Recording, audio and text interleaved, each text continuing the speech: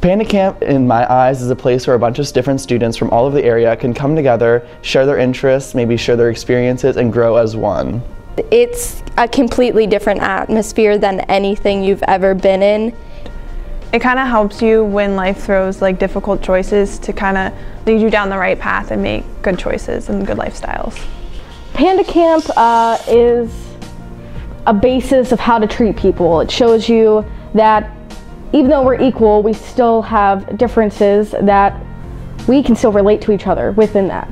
It taught me um, like how to be yourself and how to be comfortable with being yourself and being comfortable around other people. It just shows me what to do in certain situations and how to handle them and to encourage others to handle them in a positive way. Um, Panda Camp to me is a place where you could be yourself and you have friends that are there for you no matter what and we are all literally just a giant family and it's amazing.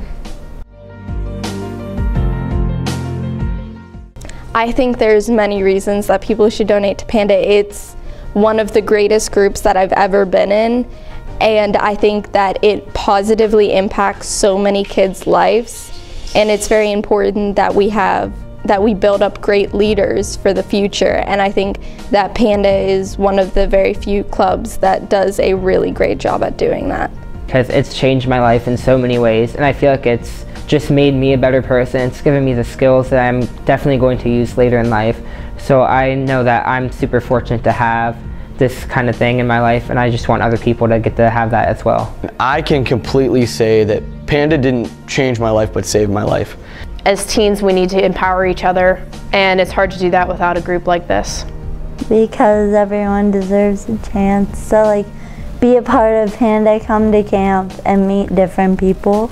I feel like I've come a long way in the past two years of, you know, coming to terms with who I am as myself and just, you know, figuring out who I am as a person. I think that Panda helps a lot of people do that. Because I know when I was a freshman, Panda made me a completely different person. It brought me to who I am and it's something that I've been really fortunate to be a part of for so long and for so many years and I would want as many people to be able to have that experience and be able to grow through Panda the way that I have.